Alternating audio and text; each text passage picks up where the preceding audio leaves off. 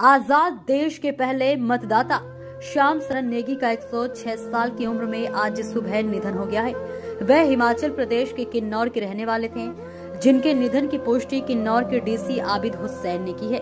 DC Abid Hussain ने कहा है कि जिला प्रशासन देश के पहले मतदाता के अंतिम संस्कार की व्यवस्था कर रहा है। 2 नवंबर 2022 को चुनाव अधिकारी श्याम सरन नेगी के कल्पा स्थित पर जाकर पोस्टल बैलेट के ज़रिए वोट डलवाया था। वोट डालने के बाद उन्होंने कहा था कि मतदान लोकतंत्र का महापर्व होता है। वहीं उनके वोट डालने के बाद प्रधानमंत्री नरेंद्र मोदी ने प्रशंसा करते हुए कहा था कि इससे पीढ़ी के लोग वोट डालने के लिए प्रेरित होंगे।